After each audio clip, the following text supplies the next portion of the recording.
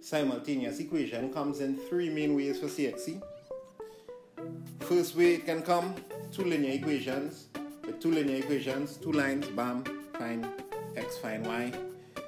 Then it can come with one linear equation and one of the equations being non-linear. So you're looking at a curve and then a line cuts. So you get two values of x, two values of y, essentially four values you'll, you'll get for that. And then there's a third way it can come where you have two linear equations, but they want you to solve it using the matrices method. So you're going to do all that in these three videos.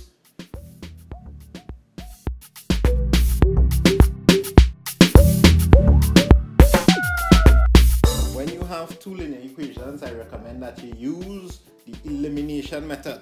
Nice, clean, quick, efficient. Elimination method, use that. If you don't know what that is, go and check that out. So we're gonna do an example on that right now actually. So if you don't know guys, stay tuned. Alright, so this right here is like worst case scenario. Two adult tickets and three children tickets cost 43. Normally you get two equations. You see any equation here? No equation. So now you have to go and generate your own equation off of these two things. One statement here, another statement there. That should have been in an Excel. Let's put that nice. And you need to make two equations off of those two statements. Um, so let me do that now. 2x plus 3y, now you understand, they kind of give you a little help here. They say x represents the cost of an adult ticket. So two adult tickets, 2x plus three children tickets equal 43. So basic stuff. Do the same thing with the next one. One adult ticket, one one child ticket costs 1850. You could, if, if you want, you could leave all the ones since 1x is the same as x. Yeah. Label them equations, equation 1, equation 2. Collect your 2 marks. Next part. So the next part, we actually have to solve it. Solve the equations. So let me write back them two equations now. 2x plus 3y equal 43, x plus y equal 18.5. Label them. And let me do some elimination. You hear that dog? That bottom just barking the whole night. So equation 2 times 2. Why are we doing this? You know why are we doing this? We want to get this value here to be 2. So it's right now is 1x now. So multiply by 2. But if you multiply this by 2, you need to multiply the whole equation by 2. Why we want to get it to be 2? We want it to be the same as that one. So once the numbers, the coefficients of one variable are the same, we could either subtract or add. If the signs are the same, we subtract. If the signs are different, we add.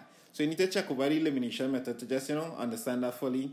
So equation 2 times 2, that is an equation there. So we could just take away this from this or the other way around. This equation, take away this equation or the other way around. So what we do? Equation 1 take away equation 3.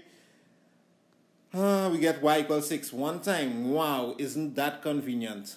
Yes, because 2x take away 2x is 0x. 3y take away 2y is y. And 43 take away 37 is 6. We nearly done. Substitute y equals 6, which we just found, into one of the equations. I should have put equation 2 here. Equation 2. No space for line. Just use the imagination. So x plus 6 equal 18.5. You understand? We take this 6 and we substitute it right there in that equation. Uh, now x is equal to 18.5 take away 6, x is equal to 12.5. Easy like that, solve it. All of these equations should work out simple like that and it should be worth 2 marks. So now x is equal to cost of one adult ticket. Why am I doing that? Oh yeah, because they asked us to solve equations to determine the cost of an adult ticket. So we answer any question now. X represents the cost of an adult ticket, so we put that. So the question may have some specifics in it. Let's follow these specifics.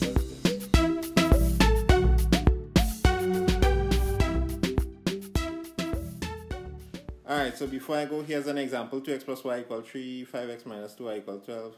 Try this out. See if you can get this. Leave your answer in the comments below.